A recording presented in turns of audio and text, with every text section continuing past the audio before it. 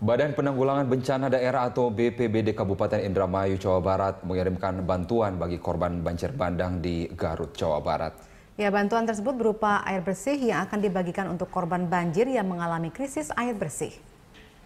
Tiga mobil tangki bermuatan air bersih masing-masing 8.000 liter ini dikerahkan BPBD Kabupaten Indramayu untuk membantu korban banjir yang tengah dilanda krisis air bersih pasca musibah banjir bandang pekan lalu. Bantuan kemanusiaan ini rencananya akan ditempatkan di sejumlah posko pengungsian. Aksi sosial ini dilakukan BPBD Indramayu sebagai bentuk kepeduliannya terhadap para korban banjir Garut yang saat ini masih menghuni lokasi pengungsian. Bahkan mereka juga telah menyiapkan tim susulan untuk diberangkatkan ke Garut. Tim tersebut akan membantu pemenuhan kebutuhan logistik bagi korban banjir bandang Garut.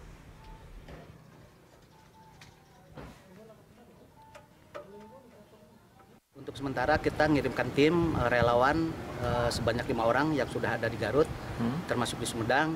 Dan pada hari ini kita kirimkan tim hmm. uh, yang membawa tiga armada tangki yang akan digunakan di Kabupaten Garut. Hmm. Nanti yang mengatur uh, komando yang ada di sana yaitu Pak Dandim sebagai ko